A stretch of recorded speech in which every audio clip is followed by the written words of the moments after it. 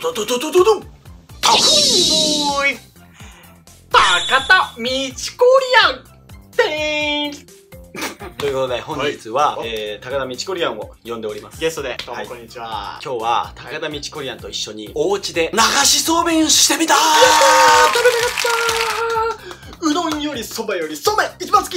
よし流しそうめんをしていくわけなんですけども、ね。流しそうめん竹でやるじゃんそうね。の竹がないわけ。家に家にあるものを使ってなるほど。作っていこううん、何を使うんですか？もうあらありとあらゆる場所。水にも耐えられるお耐久性がある。そして一番流しそうめんに最適なものを見つけました。そんなのある？え？何？こちらでございます。洗濯機のやつ上半分を切りますほうそうすることによってこの円が半分だけ残って竹筒と一緒になるわけ、なるほど。うん製作していきますやっていきましょう。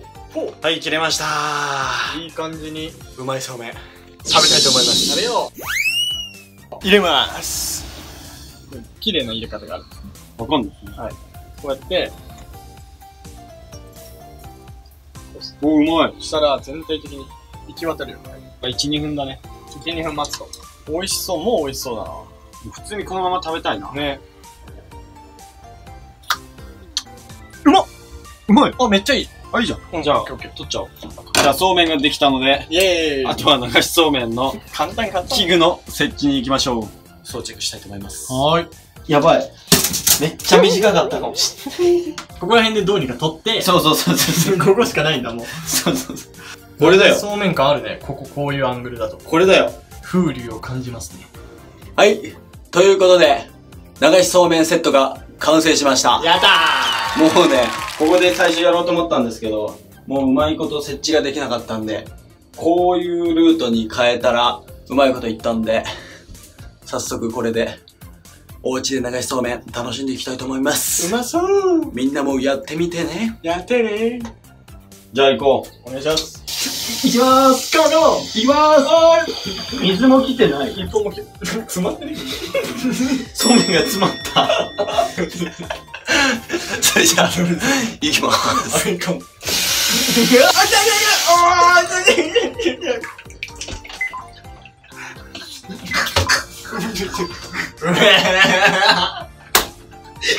成功えやった流し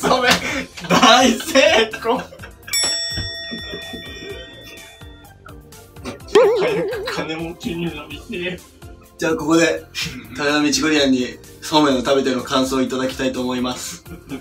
どうでした？おうち流しそうめんは？もうね、味は最高。味は最高。味は最高でした。流しなのかどうかはさておき。うん。味は最高。最高。そうめんは最高。よし、やっぱ流しそうめん楽しいね。みんなもしてみて。はい。ということで、おうちで流しそうめんチャレンジ大成功でございました。い成功ですね、完全にあれは。